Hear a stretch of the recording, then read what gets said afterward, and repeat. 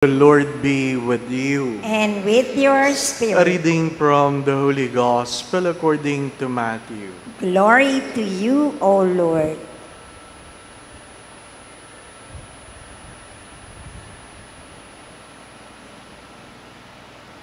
When Jesus saw the crowd, he went up to the mountain, and after he had sat down, his disciples came to him.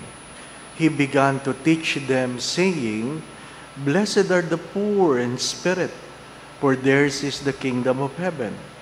Blessed are they who mourn, for they will be comforted. Blessed are the meek, for they will inherit the land. Blessed are they who hunger and thirst for righteousness, for they will be satisfied. Blessed are the merciful, for they will be shown mercy. Blessed are the clean of heart, for they will see God. Blessed are the peacemakers, for they will be called children of God. Blessed are they who are persecuted for the sake of righteousness, for theirs is the kingdom of heaven. Blessed are you when they insult you and persecute you and utter every kind of evil against you falsely because of me. Rejoice and be glad, for your reward will be great in heaven.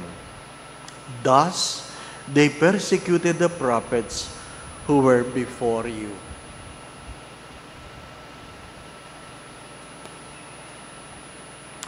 The Gospel of the Lord. Praise to you, Lord Jesus Christ.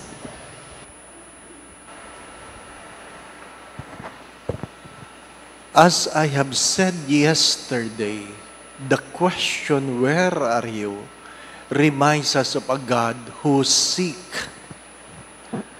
Isang Diyos na naghahanap. Where are you? But what is the first reading trying to tell us? Why did Elijah tell Ahab that there will be no single drop of rain? And it happened.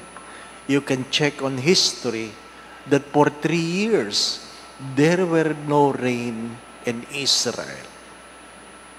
And what was the reason? Because Ahab invited the God of the rain. He welcomed different kinds of gods in the country, and one of them is what they call the God of the rain. What the Lord was trying to tell Ahab, okay, ask your God for a rain. Ask your God for a rain. My dear friends, my brothers and sisters, if we alienate ourselves from God, we are the one who is losing everything. May mawawala ba sa Diyos kung hindi ka magsisimba? May mawawala ba sa Diyos kung hindi ka magdadasal? May mawawala ba sa Diyos kung hindi ka hihingi? May mawawala ba sa Diyos kung hindi ka maniniwala? Ang sagot ay, wala. Walang pangangailangan ng Diyos sa tao. Ang tao ang may pangangailangan sa Diyos. Kaya pag naghanap ka ng ibang Diyos-Diyosan, minsan, minsan, pinamumukha sa atin ng Diyos kung ano talaga.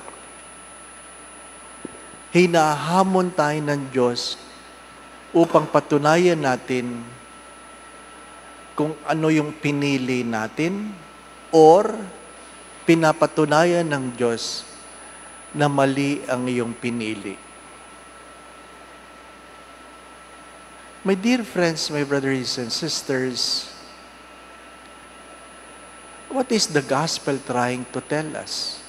We all know it was about the beatitude or the be attitude. The be attitude. In English, when you put be in a word, it becomes imperative, not an option. It is an imperative. Be attitude. What prevents us from being successful is not because we don't have the talent, but because we have a wrong attitude. Keep that in mind. What prevents us from being happy, from being successful, even from being healed, is not because we don't have the strength, but because we don't have the right attitude. Sabi nga, kung pinanganak kang pangit, wala kang magagawa. Pero pag namatay kang pangit, kasalanan mo. Bakit? Wala kang ginawa. Wala kang ginawa. As I always say this, we are a product of our choices. Kaya nga napakaganda ng tanong kahapon eh, where are you? Who told you you are naked? Kanino ka nakikinig? Tunay na Diyos o Diyos-Diyosan?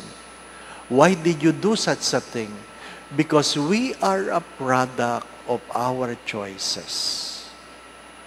Take note, we are a product of our choices. Even God will not insist Himself on you, but only on those who believe in Him. Amen. My dear friends, my brothers and sisters, you cannot change the world, but you can change your attitude. You cannot change the situation, but you can always change your attitude. You cannot change people, but you can always change your attitude. Do not forget this. Your attitude is the librarian of your past, the speaker of your present, the prophet of your future. Let me say that again. Your attitude is the librarian of your past, the speaker of your present, the prophet of your future. The Lord be with you. And with your spirit. And may Almighty God bless you and your family, the Father, the Son, and the Holy Spirit. Amen. We go in peace to love and serve the Lord. Thanks be to God.